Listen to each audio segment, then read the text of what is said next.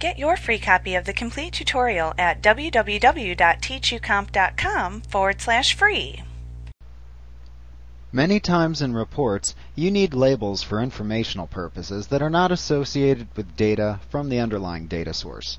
Objects such as report titles and other descriptive text can be added to clarify what is being presented in your report.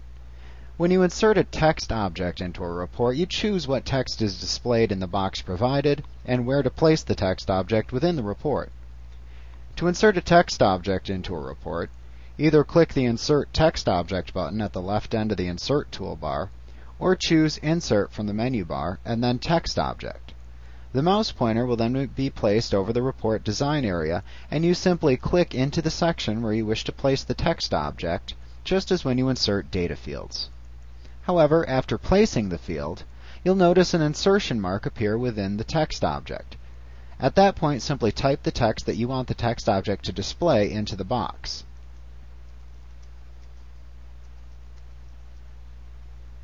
When you have finished, click outside of the text object into the report area to finish editing the text. You will then need to resize the object as desired. If you need to edit the displayed text within a text object after it's been inserted, double-click on the text object to place it back into text edit mode and make the necessary changes. Once again, click outside of the text object back into the report area when you've finished to leave the text edit mode. An interesting feature of text objects is that they can have data fields inserted into them while you're entering and editing the text. To do this, simply go into text edit mode for a text object as normal.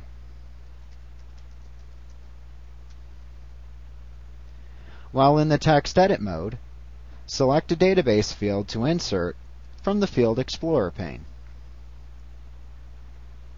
Then just click into the text object to insert the selected field into the text object at the location of the insertion point.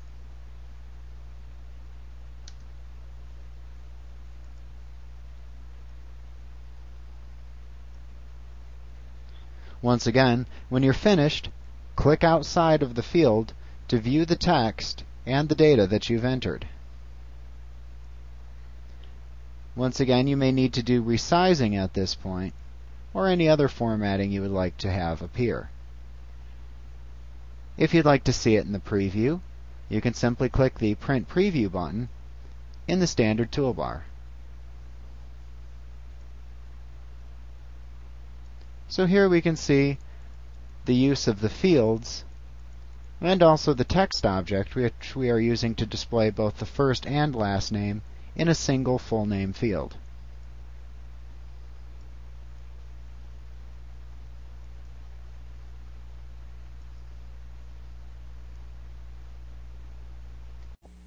Like what you see? Pick up your free copy of the complete tutorial at www.teachucomp.com forward slash free.